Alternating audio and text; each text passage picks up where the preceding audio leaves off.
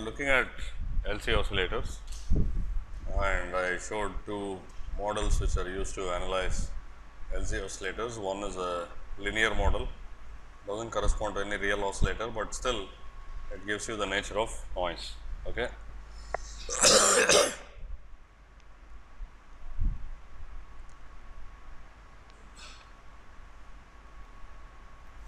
The other one is closer to reality.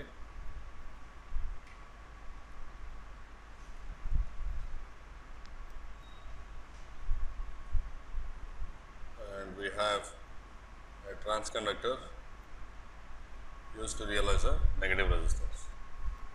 Okay.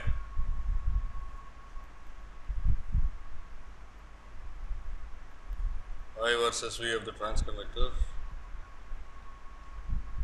goes like that and it has some current limiting.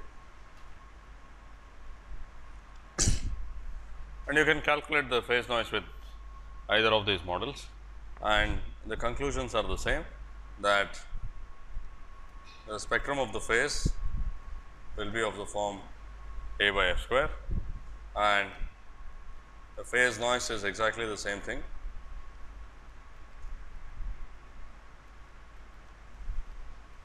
but just for f more than 0. So, if you plot it versus uh, frequency, it will do something like that. Okay.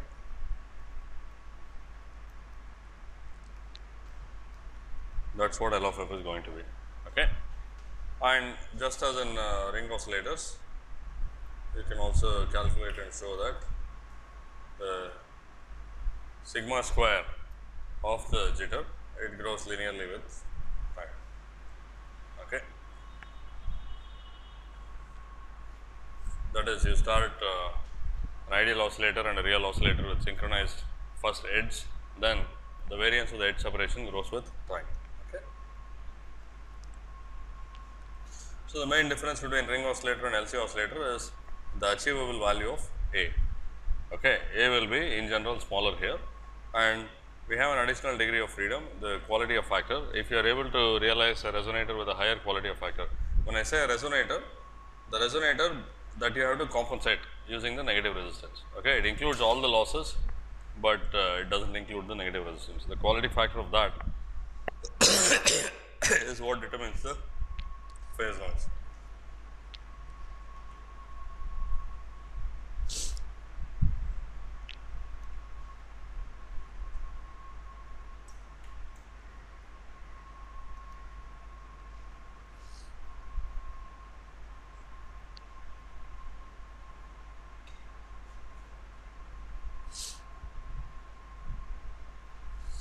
So, again just like for uh, the ring oscillator, we can make some fundamental calculations. Here we assume that the noise of this is represented by a current source 4 kT times Gp.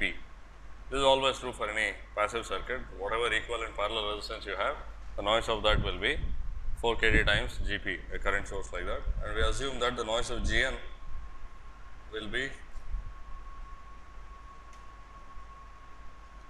4 kT Gn times gamma. I mean depending on how you realize it there could be an excess noise factor gamma. Okay. So, with that assumption or the same thing can be done here. So, the noise of this is 4 kT Gp and the noise of that is 4 kT Gp times gamma. Okay. So, with that assumption the key results are like this.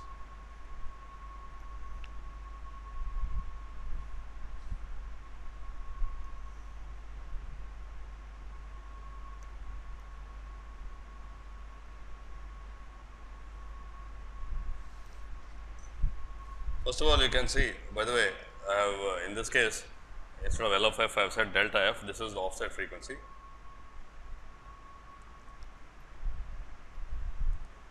Or it is the frequency of fluctuation of phase, right. And you see like 1 over delta f square behavior. Okay. And when you uh, express it like this, you also see f naught square in the numerator, f naught is the oscillation frequency. Okay. So, this part is similar to the ring oscillator, right? In the ring oscillator, it was exactly the same. And then we have proportionality to kT just like before times Rp which is the loss resistance of the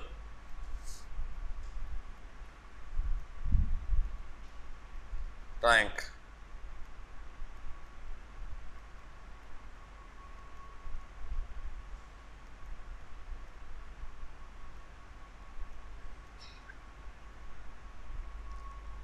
okay. And you get this 1 plus gamma the noise from the positive resistance the loss resistance and noise from the negative resistance. Okay. Vp square the larger the amplitude uh, the lower the phase noise. Okay.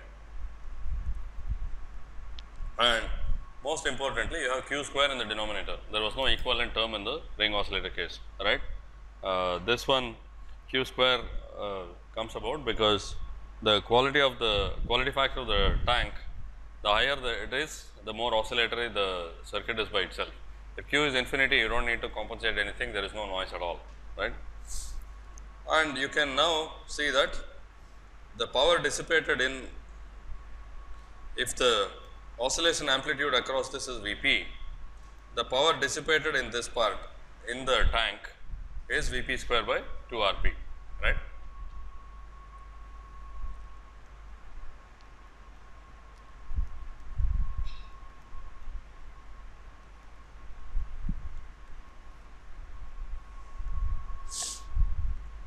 Okay. So, basically this thing can be uh, taken out as power dissipation, right. So, we will get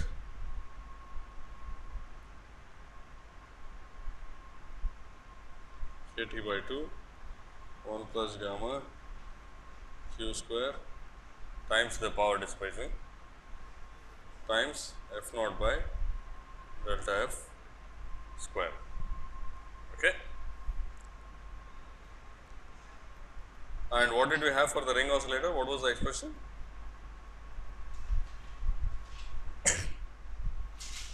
for the MOS ring oscillator, what was it?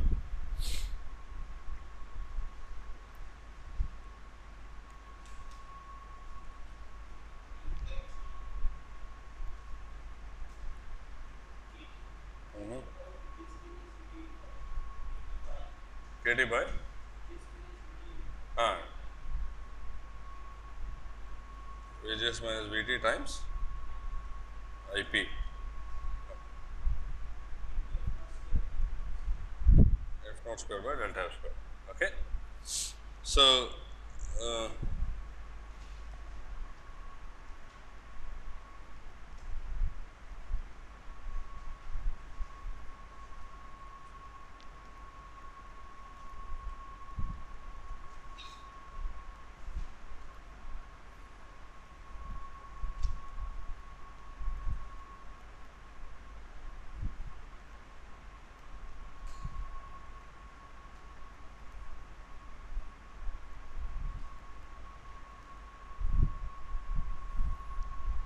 So, IP times VDD is the current. I sorry, it's the power, right? IP times VDD is the power. So, I will put VDD on top here.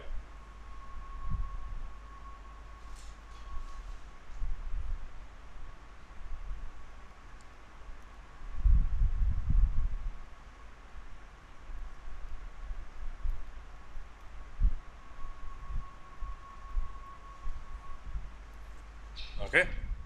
Now, there are some differences in detail, but okay, this half and 8 by 3 is some other factor, but you have kT of course, and you have 1 plus gamma here. In fact, if this gamma is 1, this half goes away, but you see the inverse proportionality to PD in both places. Then there is some other detail here VDD by VGS minus VT and you have F naught square by delta F square. So, the behavior is the same. The key differentiating factor is this q square. Okay. So, if you start with an LC circuit which has a high q, then you will have better phase noise. The phase noise of an LC oscillator can be much better than the phase noise of a ring oscillator and how much better it is entirely depends on the quality factor.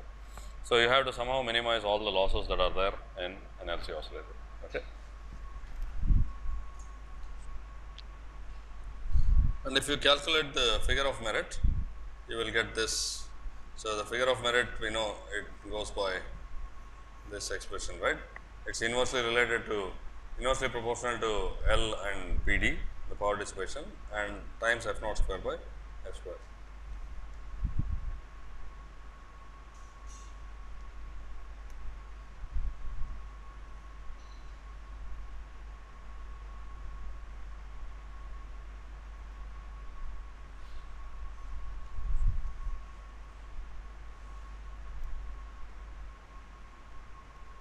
This is the FOM of the LC oscillator and FOM of the ring oscillator what was it? What was the expression for the FOM of the ring oscillator figure of merit of the ring oscillator? 3 by 8 uh -huh.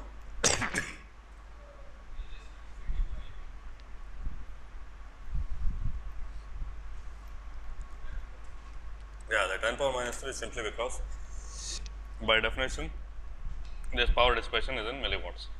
Okay. So, again you see that q square multiplies this. Now, one thing is in case of the ring oscillator we took the power that is drawn from the supply. In case of LC oscillator we have taken just the power dissipated in the tank.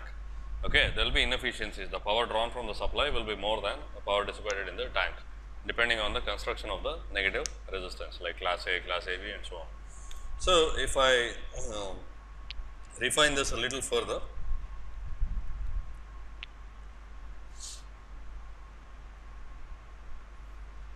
here what I have done is uh,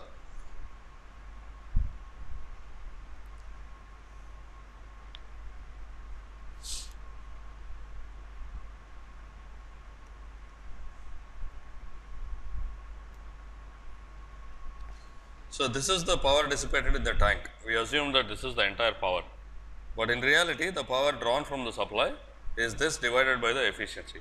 The efficiency is 100 percent then the power drawn from the supply is the same as the power dissipated in the tank. Otherwise, power drawn from the supply is this times eta which is the efficiency. Okay.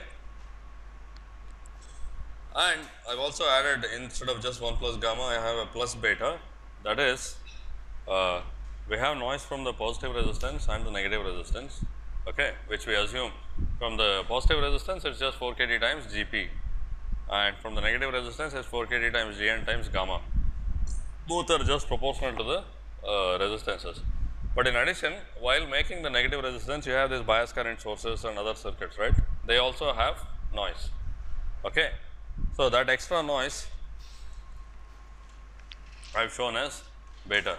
Okay, that is what I say here. It is extra noise from bias or it could be due to flicker noise and so on. So, whatever extra noise you have, I just add it as one more uh, term beta. That is, it is as though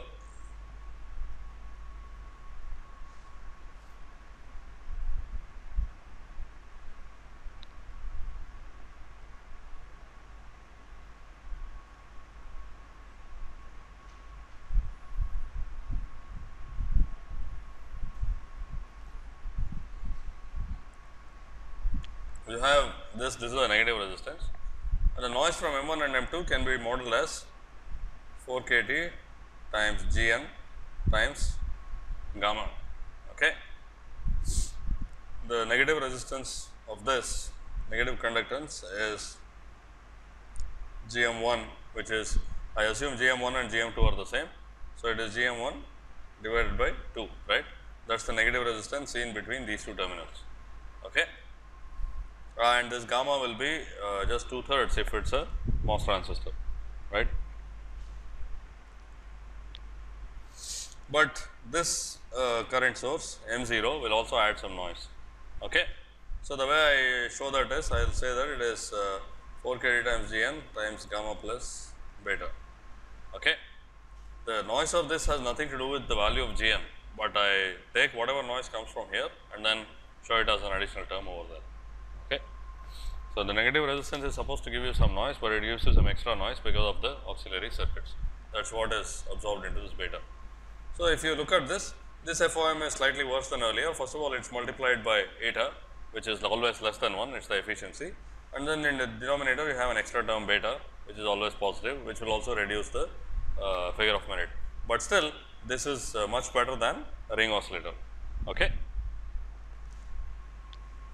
So, let us go back to the simpler expression. Please calculate this uh, FOM in uh, dB. This is always you take 10 log of this for q equals 10.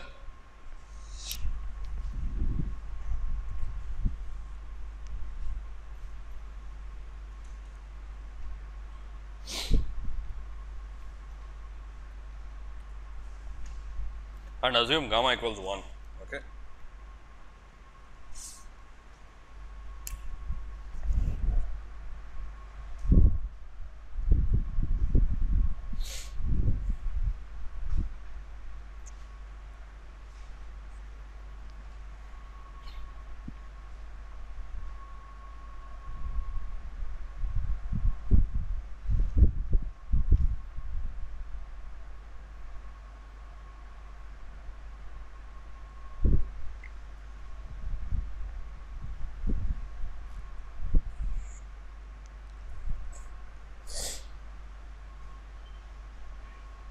Okay. One ninety four dB, yeah. So this is one ninety four dB, which is way better than I think in other case we got one sixty four dB, right? This is a thousand times better. Okay. Even if you don't get one ninety four, it is still like way better than the ring oscillator. So these two have sort of two different purposes. If you want very low noise, you you have to use LC oscillators, but uh, you have to pay the price of large area and limited tunability and so on. Okay. 184 with 184 it somehow looks. What is it?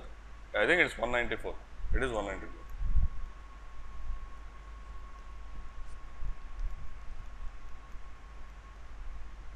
it's 2 divided by 4 times 10 to the minus 21 q square is 100 divided by 2 10 to the minus 3. So, it is 1 fourth of 10 to the minus sorry 10 to the plus 19 is it? It is 184. Sorry.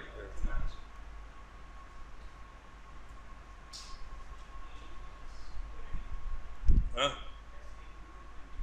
Which one? Yeah, yeah. So it's 10 to the minus 1. So this is 10 to the 20. So it is 200 minus 6. Yeah. Okay. so LC oscillators have much better phase noise than ring oscillators. That's the bottom line.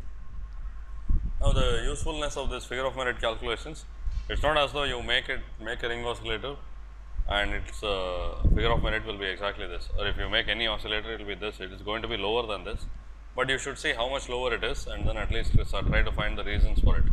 Okay? Because if it is way lower than this let us say you make an LC oscillator and your uh, inductors have Q of 10 or 15 and then you have let us say a figure of merit of 180 dB. So, that means there is a lot of excess noise now, it could be that the way you have designed the circuit it is inevitable, but at least you have to examine that and then see where all that stuff is coming from and if possible minimize that. Okay.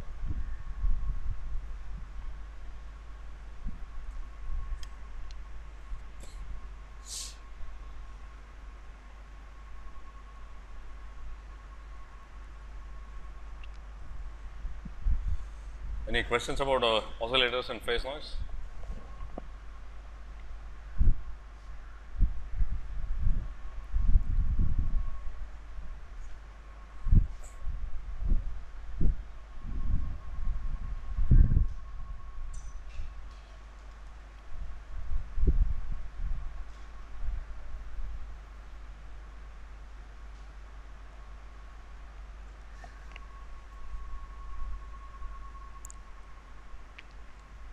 So, now uh, these oscillators if you make them they will oscillate at some frequency which is quite uncertain and then they have a lot of variation with uh, process in case of ring oscillator with voltage also and then uh, with temperature. Okay. So, you certainly can't use open loop oscillators anywhere because their frequency is quite inaccurate. Now, it turns out there is a particular type of uh, resonator which is a quartz crystal.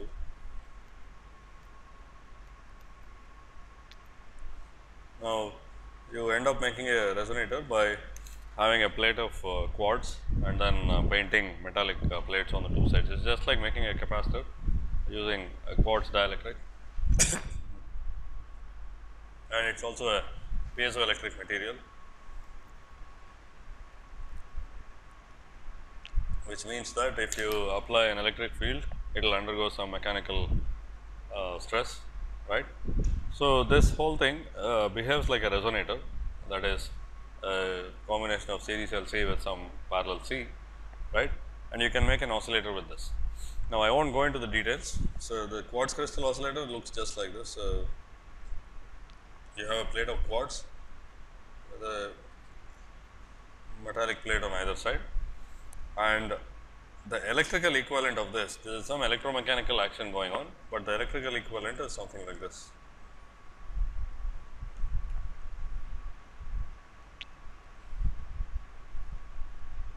This is the main, uh, this is the branch that denotes the resonance of quartz and then because it is like a capacitor, there will always be some capacitance between the between this terminal and that. This is terminal 1, terminal 2, that is the equivalent. Now, there are two things. One is that uh, the Q turns out to be very high. Okay. So, you make an oscillator with this, it is like an LC oscillator with a very high Q for the LC tank. So, the phase noise will be very low because you know that it is inversely proportional to Q square. Okay. On top of that, this uh, quartz also has another nice property that it has a very low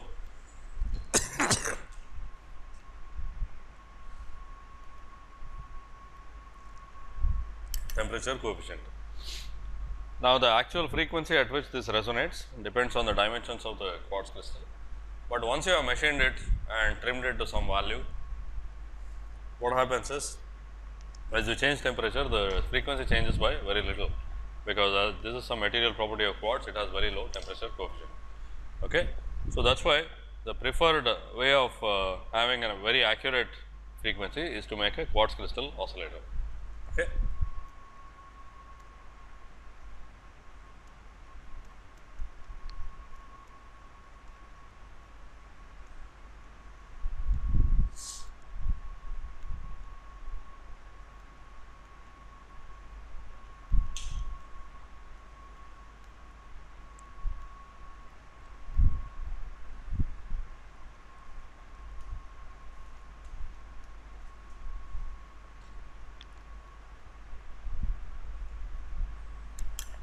Okay.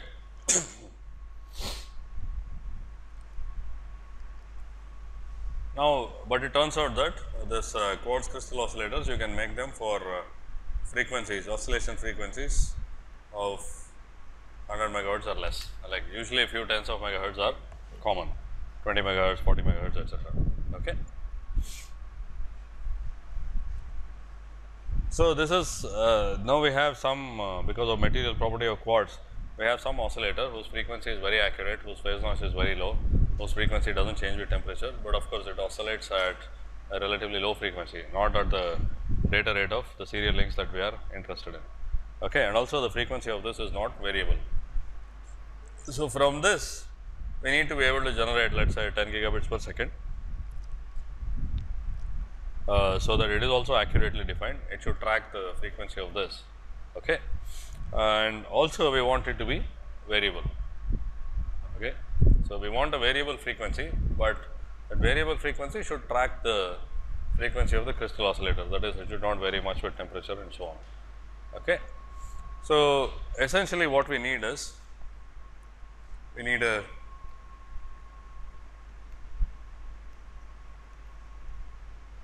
frequency multiplier. So, we have to take whatever frequency the quartz crystal oscillates at and it by some n. So, that we get n times f crystal. and we can make n variable. Okay? That is the idea. Is this fine?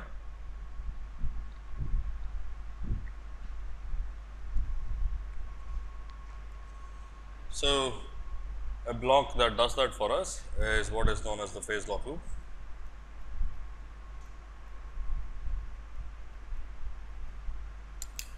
Essentially, what we do is we compare the phase of the reference with the phase of uh, some output frequency, right, and then make the corrections to the frequency.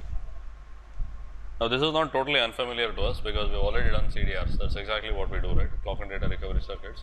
We compare the phase of the clock with the phase of the VCO and then apply corrections to the VCO. In the end, in steady state, what happens is the uh, VCO will be VCO will have the same frequency as the incoming data and also will be in phase alignment with the incoming data. Okay. So, normally I would have a more elaborate introduction to the phase lock loop, but since you already know this, we can go to that straight away. Okay. The only thing is this is in fact a little bit simpler than the uh, clock and data recovery circuit. The clock and data recovery circuit operates with random data inputs, whereas this has a periodic reference. All we have to do is take the periodic reference and multiply it up. Is this okay?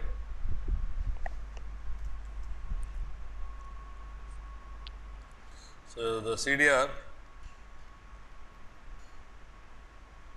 without the forwarded clock, right.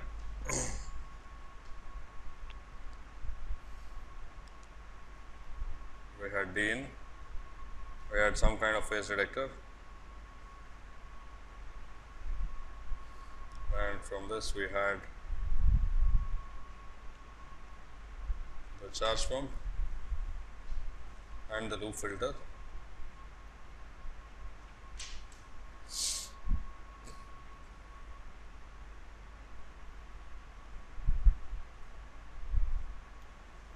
This is the recovered clock. Okay. Now,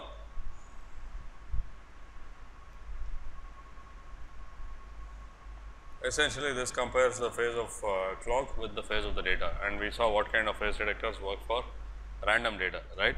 That is essentially this phase detector gives you an output only when D in has an edge okay? Now what we want is something similar.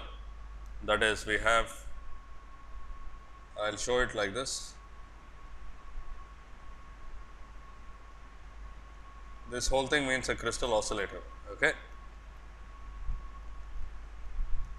In fact here onwards I won't even show that. And this gives you some uh, reference frequency that is the standard terminology for it. So, maybe let us say it is 20 megahertz. It will be so in a crystal oscillator if it is 20 megahertz you can assume it is 20 megahertz. Okay. The drift from 20 megahertz will be in the hundreds of uh, parts per million. Okay, we are talking about 0.01 percent or less. So, now we uh, take this and we will have our VCO which is oscillating at uh, some frequency let us say 10 gigahertz and somehow we have to adjust the control voltage so that this is not just approximately 10 gigahertz, but this is exactly 10 gigahertz. That is you want 20 megahertz times 500. Okay. So, if you do that you will get 10 gigahertz right. So, it should be exactly 10 gigahertz that is what you want. So, you somehow have to adjust the control voltage. There is no way of doing this open loop. You can't set the V control to let us say 13.5 millivolts and then expect that the output will be like this because that will drift that will go all over the place. Okay. So, we have to do this with feedback. Anything that is accurate you have to use feedback. You have to sense the actual output, compare it with the input and then apply corrections. So, in some sense these two are similar, although the goals are different as I will explain. So, first of all we will use the same thing, we will use a phase detector between the reference and some signal. But of course, here the data was at some frequency and clock is eventually at the same frequency, same frequency meaning the data rate and the clock frequency are the same. Okay. whereas of course here this is at some much higher frequency. So, what we do is we divide the frequency by some n.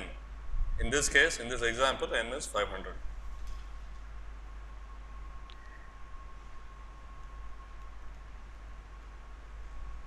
So, if this uh, if the VCO's output frequency happens to be exactly 10 gigahertz, what is the output of the frequency divider? It is 20 megahertz. Okay. So, we compare the phase of these two. Now, what happens is if this is slightly different from 10 gigahertz, this will be slightly different from 20 and the phase difference between them will grow with time, right. And that is what the phase detector uses to correct for the phase. And again, like I said, I won't give an elaborate introduction since you already know the what works. So, I will use exactly the same circuit here.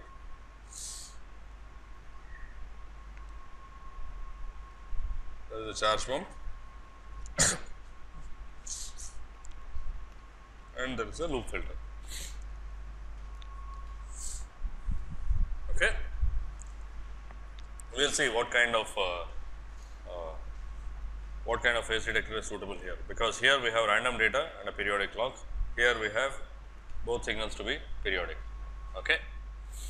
Now while uh, superficially they are similar there are still some differences the main uh, aim of the cdr is to track the in and recover its value that is you want to find out what the input data is that is why we have a clock and data recovery circuit right. So, if your data moves the clock should move with that and then find out the value of d. Whereas,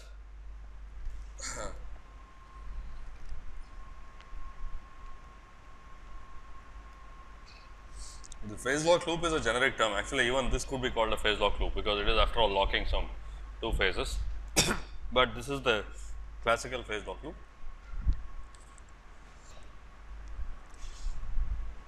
Here the goal is to generate a periodic signal.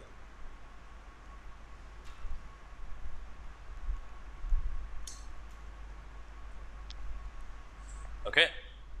Meaning, I am not tracking anything here, right. There is no data that I want to recover and so on. All I want is that the output should be at 10 gigahertz and exactly at 10 gigahertz. That is, I want its spectrum to be as much like an impulse as possible or in the time domain I want every cycle of that to be equal to each other and equal to 100 picoseconds. Okay. So, the two goals are slightly different.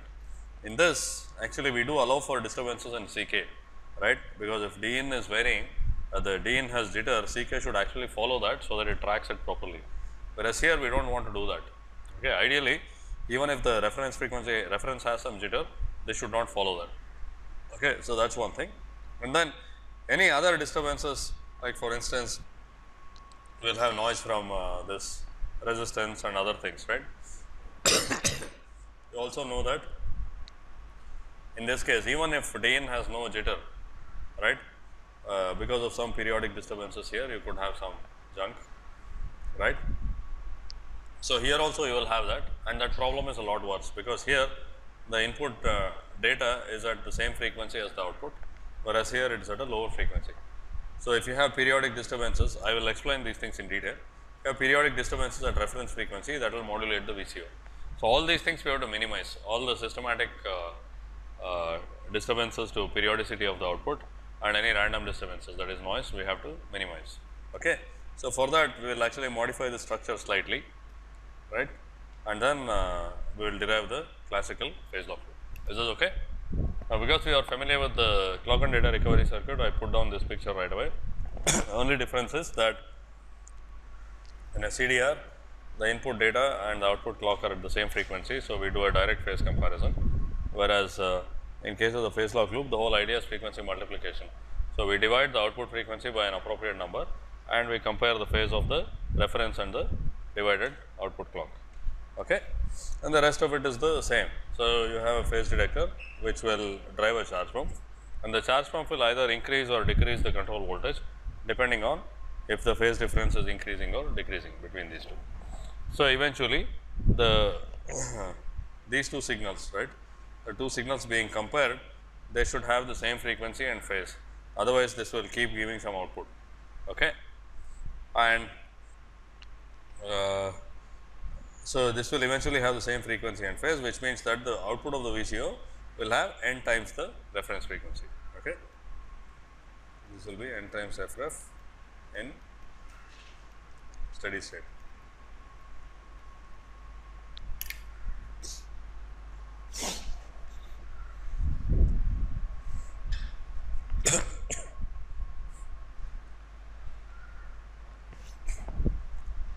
Any questions here?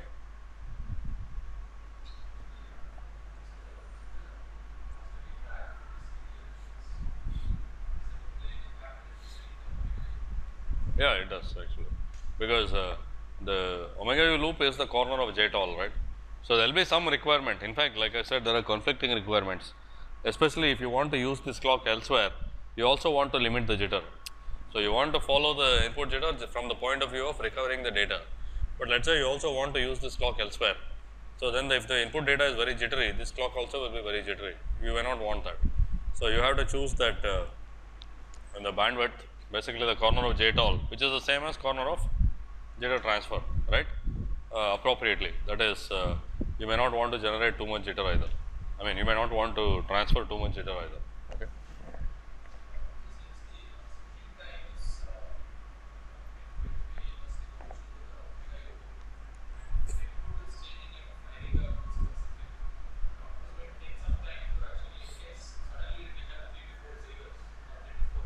Hmm.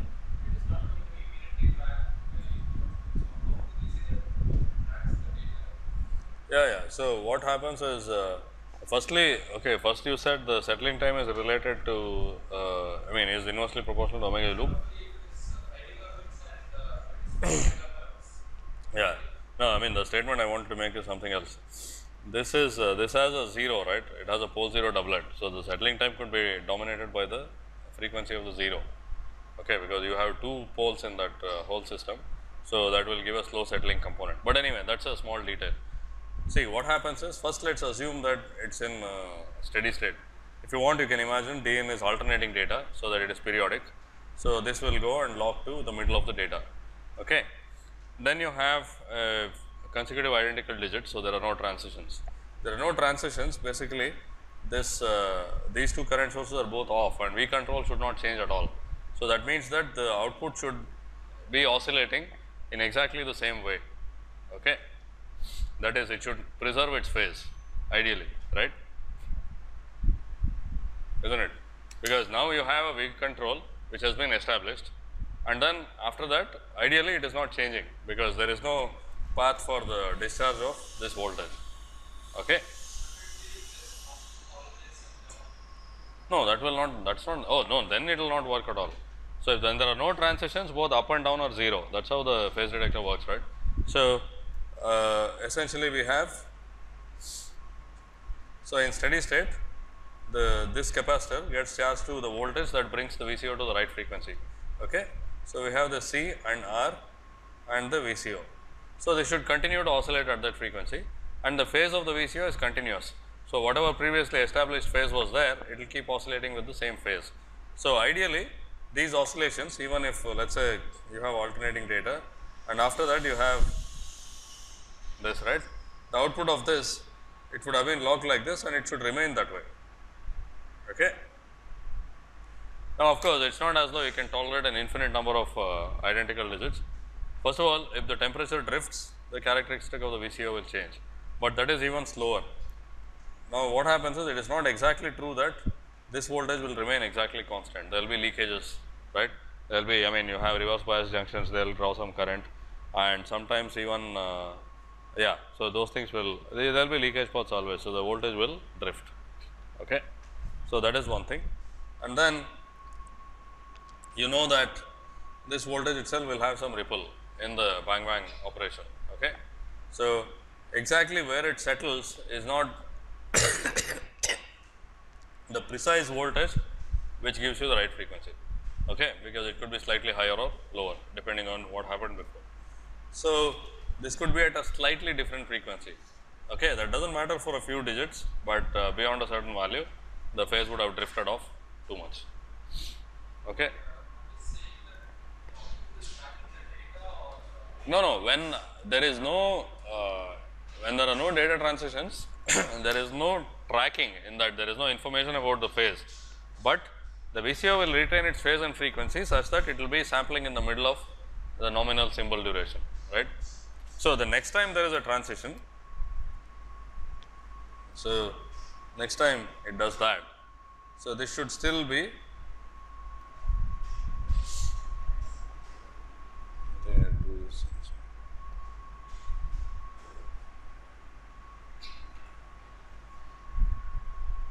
So, next time there is a transition, right? This will still be tracking the middle of that. No, data recovery, the data comes from here, right? The data output inside the phase detector, I mean, the way I have drawn it, I have not shown the output data. The data actually comes from one of the flip flops within the phase detector.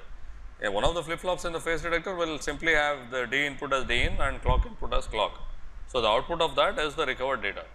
Yeah. This is the, this is just the recovered clock. Okay. The, the recovered data comes from yeah, so this D1 could be the recovered data or D2, I mean this, uh, this one, right.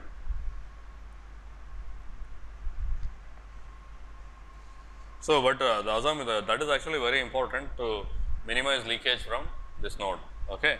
Because if you have a lot of leakage there, actually if the, one of the problems is that I think you have calculated this capacitor value can be quite large.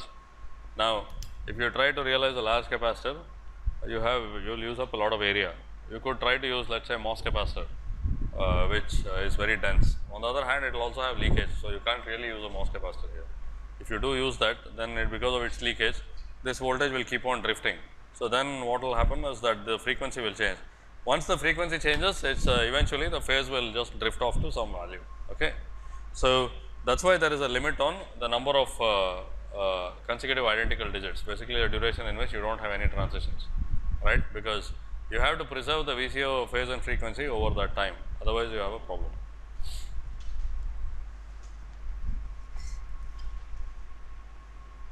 But the initial settling of course that takes time that is uh, you start applying the data uh, even if the VCO starts with the right frequency for it to come to the right phase it will take time and that is related to the settling time of the loop.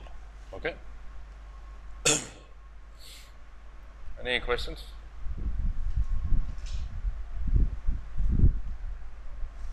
So, here uh, we want to try and generate a periodic signal. Uh, so, that is why uh, we will have some other constraints which will give us some slight modifications. Okay. Now, this phase detector it is operating with two periodic inputs. So, it can be in fact simpler than the other one I will show what that circuit is and this loop filter will need some enhancement so that the output does not have any disturbances from periodicity. This Is okay? Otherwise, I mean it is largely similar to the CDR, the small signal model will also be similar to the CDR. The way you choose the parameters may be different. Okay. And of course, the CDR does not have a divider in the feedback loop, this one does have a divider. Any questions? PLL? It is needed in the transmitter as well as the receiver. It is needed in the receiver because uh, this VCO, right. So, first of all there are different architectures. So, we said that one of the architectures is in the receiver you generate a periodic signal with a fixed frequency and then put it through a multi-phase generator, a phase interpolator, especially when you use a digital clock and data recovery. So, you need a PLL for the receiver. But even if you use this type of analog structure for the receiver, it turns out I mean if you just throw in the VCO into this loop starting from some arbitrary state, it will not lock at all. Okay. So, typically what happens is an analog CDR loop will first be configured as a phase lock loop. So, that this VCO frequency comes close to the desired frequency, right. But it is operating from the crystal on the receiver side so, the frequency is not exactly the same because the transmit frequency is related to the crystal on the transmitter side. whereas this is now related to the crystal on the receiver side. The two will be apart by a few hundred parts per million. So, you have both loops, the same VCO being controlled by the two loops and you what you do is essentially you would have shorted these. Okay.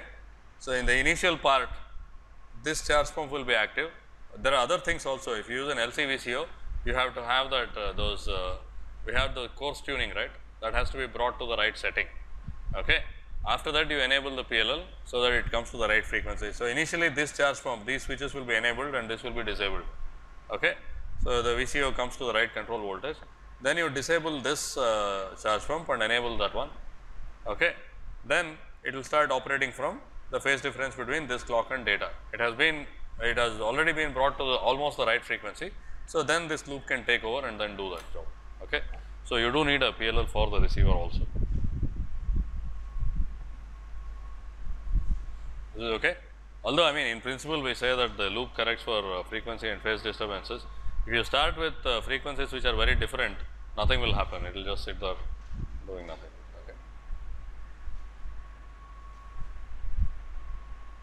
Is okay.